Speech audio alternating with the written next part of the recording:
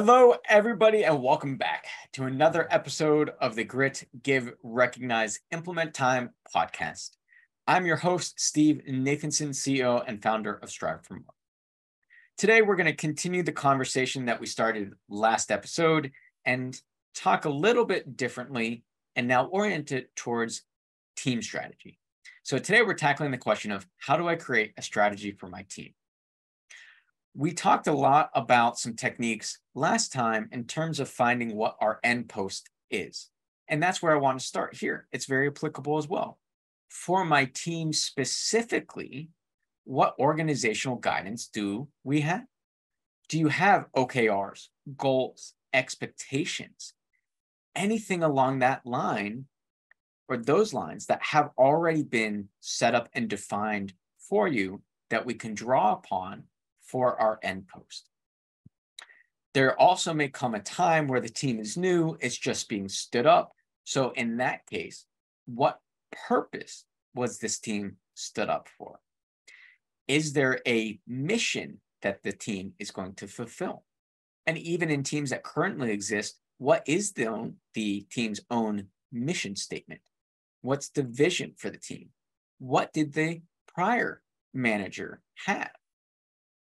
Again, all great starting points for us. Once we know this, then we can clearly define what that end post is to be able to back out of it. And just like last week when we are talking about time frame and we were using a one year example, what is the time frame that we're looking to create a strategy for? Is it one year? Is it shorter? Let's say we've got to figure it out for end of the year, uh, and maybe we're in May, and so we're going to plan for the second half of the year, right? And it's just six months. Maybe we're asked to do a long-term vision, three years, five years. Those are going to be important because they are going to determine to what extent can we actually get detailed in terms of our strategy the further out it is, the higher level it'll probably be. We don't need greater detail at the moment. So, with that, how do we actually do this? When we know what the end post is, it's also good to know where are we now? What's our starting point? So, where are we? Because that tells you what that gap is. How far do we have to go? that can be very important for the strategies of, say, taking the team into the future, developing new products, shifting uh, from an example we gave last time of, say, very hardware focused and actual client locations to cloud based services. We need to know where we are, we need to know where we're going, and then we can fundamentally create that strategy, right? Nothing new then from last time.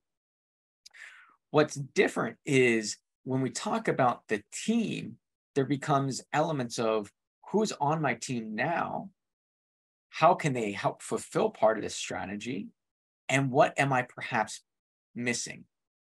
If we look at it this from a say football team analogy on defense, maybe we've got great secondary, so we've got great cornerbacks, we have great safeties, but we're missing being able to stop the run. And so we need to strengthen, say, linebackers and offense, excuse me, defensive linemen. Same thing here for the team. We have to know the players on our team.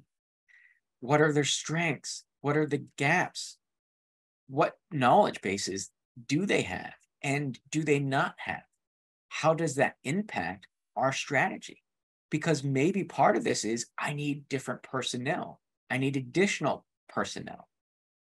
Maybe the team structure itself as well is not set up currently for where we want it to go in this strategy. So we have to realign things. Maybe we create a couple team leads. We break the team into two sections, perhaps.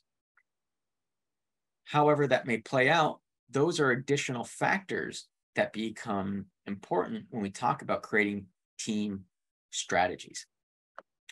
So let's get into actually how do we do this? So again, when we know our end post and we know our starting post and we know the time frame we're looking to define that for, then it becomes easier in a broad sense to start defining things and working our way back. So let's say it's a five-year vision and within the next five years, we want to achieve X. With that being the goal, what is realistic perhaps to achieve in four years or three years, two years, one years? We can define yearly benchmarks. We can even do that in a three-year plan. Where do we want to be at year one, year two, and year three? Part of this is also the reasonableness of it when we have done things before, we have a much better grasp on what time it does take to implement things. Even if we've not done it and it's industry kind of standards or other people have done it, we can rely on those resources and those examples to help us reasonably estimate our own time frame, accounting for kind of who we are as an organization, who we are as a team. This becomes harder when we are trying to do something that's unknown we've not done before and it's new. We may be able to put together kind of a guesstimate. But in the strategic plan, there has to be an element of wiggle room to allow that to actually plan out over time. Excuse me, play out over time to say, you know what, we planned for six months. Once we've gotten into it now or two months in, this is actually going to be longer sometimes that happens. That's very real world experience. We don't want to overpromise and underdeliver, right? Is another way of saying that. So as we're building out this strategy, we need to have flexibility in it around what those goalposts are, those different milestones, and also be able to put in a reasonable guess. Or if we need to, create a little bit of a buffer. You know what? I'm not sure. Seems like maybe four months or six months. We can plan for that six months. That doesn't mean that we ultimately have to go with that. It at least gives us a starting point. So when we build out the milestones for, say, year four, year three, year two, year one, are they really reasonable? We have to do that check. Because let's say we say in year one, this is what we're going to achieve, and it's just wholeheartedly unrealistic, and you're way behind schedule, we've now overpromised something. We're not delivering on it. It's going to be a lot of stress, it's going to be a lot of heartache. You're going to break apart the team. You're going to have people who are burnt out, disengaged. It's going to be a big mess. So that is one of the reasons behind doing this reasonable check for those intermediate milestones. One of the examples I gave last time about breaking things down from a year is also applicable here. Once we've planned out our high level goals and objectives at each year, we don't necessarily need to plan out all five years by quarter. We can just start with year one. Maybe we want to do, say, one and two. Completely you dependent. But the way to back out of that is okay, with the goal at the end of the year, what is it that we want to achieve in, say, Q3, Q2, Q1 by those end points. Or if we want to do through halves, like H1, H2, some organizations will do that. Up to you. But we can start backing out essentially year, quarter, month, and then week. A lot of companies, you work in sprints, a lot of agile type of mindsets. So we work in two week sprints. What's nice in the strategy is for the month, we may know ultimately where we want to get to in that month.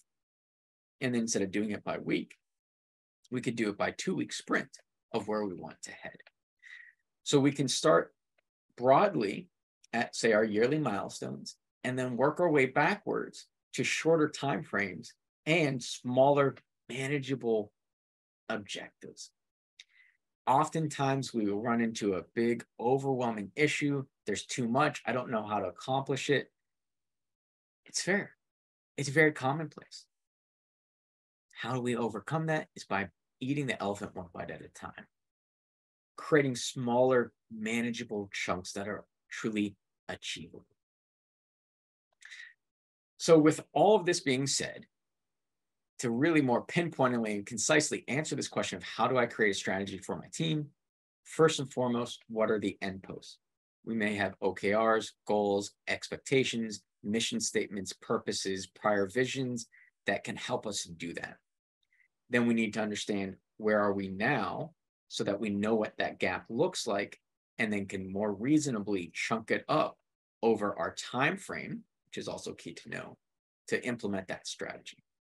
Once we've gone from that high level, then we can back down by say year, quarter, month, week, or two week sprint, as we were just talking about, to redefine smaller chunks and keep us tangibly making progress towards that goal. The other elements that come into play are also what do I need for my team to be able to achieve this? Maybe we need new personnel, additional personnel, fill knowledge gaps by bringing in more people or getting our people training. What's the structure of the team look like? Is it going to meet where we want to go? Or do we need to redefine that? Do I need team leads? Do I need to break it up into, say, two? These are good questions because that's also part of where we're headed. It's also critical to help us actually accomplish that as well. One thing I have not yet ma- mentioned with this, but I'll bring it up now, is policies, procedures, and processes. We may need to build out new policies, processes, and procedures to be able to achieve what we want as well. That can be part of the strategic plan. Okay, if we're going to get here, this is something new for the company. We need to define those guide rail guidelines, those guardrails, if you will. Here's how we're going to do that. New policy, new procedure, new processes. That's also a part of the strategy as well. There's definitely more we can dive into uh, on strategy for the specific scenarios that you're facing, but at a high level, broad sense, here's how we create a strategy for a team. So I truly hope that you've enjoyed today. And remember, till the next time, be the movement in your life.